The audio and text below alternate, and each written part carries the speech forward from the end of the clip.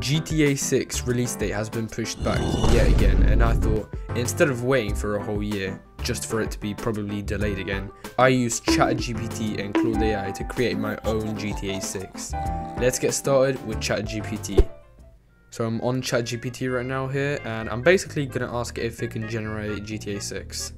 This might take a while, so I will just speed it up for you.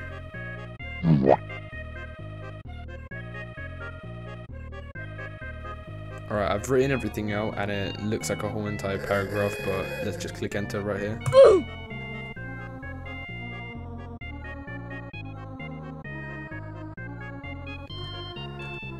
It looks like it started generating the code, so let's just wait until it's finished. Now that's finished generating the code, all we do is press this little copy button right at the top here, and then we go into Visual Studio Code, and we just paste this little thing right here. We just go up to the top left, click on File, and save.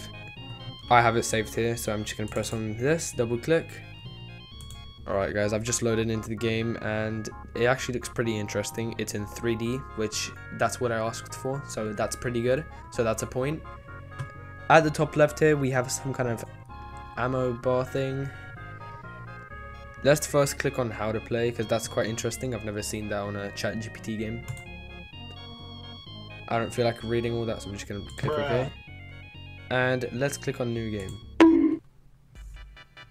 So our character is some kind of blue bean thing. And these yellow guys appear to be NPCs. At the bottom left here, it says left click to shoot. It's hard to see, but I am shooting. It says that my wanted status is 1 currently, so these red blocks appear to be police. So if I shoot one of them, they should come after me, yep. If I click on R, it should reload, which it is. If you hold down shift, you sprint and the police are coming after me again, so I better run.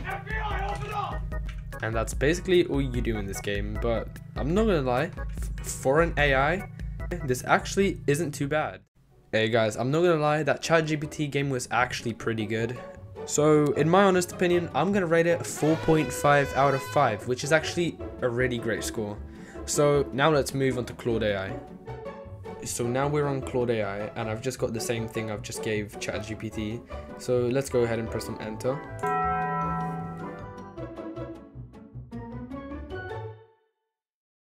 Click on this little I button and it loads up right here.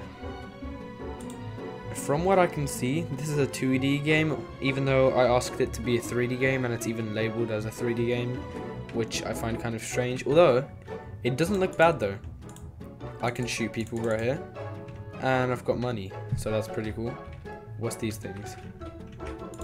Oh, no, police is chasing me.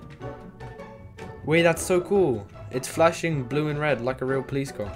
Can I shoot it? Oh. Oh my god. I'm level 3 wanted. Wait, I don't have any more ammo. How do I reload? I don't have any more ammo. How do I reload? Oh no, I don't have ammo.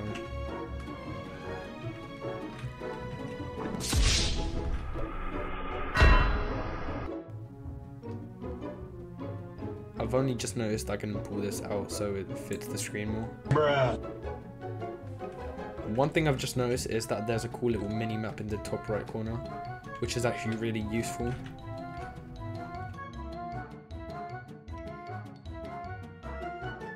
Alright, I've just found a gun shop right here, so apparently if I go here and click on R, yep, I just bought some ammo.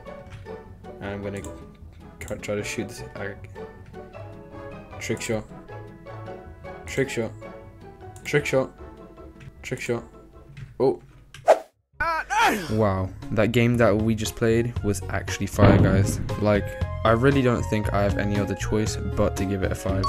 It was extremely fun, and to be honest, I could see myself actually playing that game if I'm bored. This means Claude AI wins and ChatGPT loses once again. Quick thing before I end the video, thank you guys so much for 200 subs and for all the support in the comments. If you have any video idea, feel free to drop me a comment and maybe subscribe. So until next time, goodbye.